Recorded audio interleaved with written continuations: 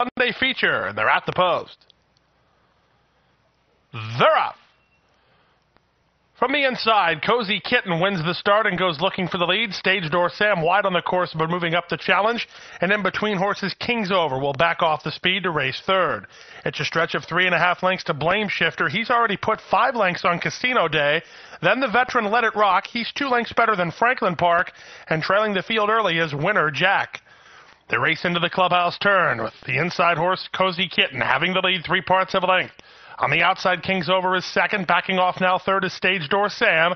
It's a stretch of three to Blame Shifter. Confidently handled early and comfortable. Four lengths from the lead. A gap of five lengths more to the inside in Casino Day. Then Let It Rock. These two have opened up five lengths on the second last horse, Franklin Park, and Winner Jack is still last. They're strung out over a lot of ground after an opening quarter in 23 and 3, and they picked it up to the second quarter in 47 seconds flat for the half mile time. A quick pace being set here. King's over on the outside now has the lead from Cozy Kitten, who's right back at him second. Blame Shifter's had a great trip. He's third behind the speed.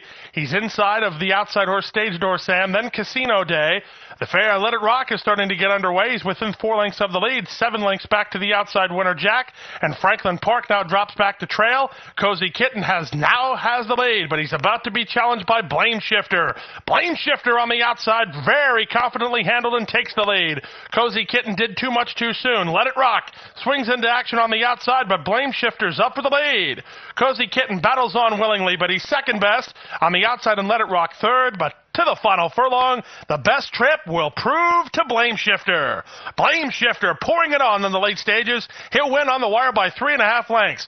Let it rock. The veteran gets rolling for second in front of Cozy Kitten third, and Winner Jack closed from last to get fourth in 147 and 2. Back to back tallies. Covers the course today in 147 and 2. Returns 1240 for the victory, 560 and 340. Second number eight, Let It Rock, 540 and three dollars. Third the four, Cozy Kitten, 220.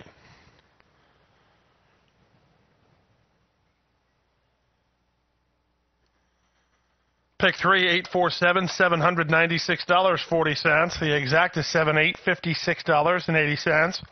Trifecta seven eight four three or thirty dollars fifty five cents. Superfecta numbers are seven eight four six eight hundred fourteen dollars and eighty cents. Six hundred fourteen dollars eighty cents.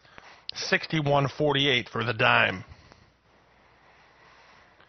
The ninth and final race is up next. It offers super high five wagering with a carryover today in the super high five. Today's ninth race, scratch number 10, leveraged loan. Luca Panici rides number 7, Humor Me Doc. We offer win, play, show, exact to try, superfecta wagering for just a dime. And again, today's ninth race does feature super high five wagering. Ninth race post time, 529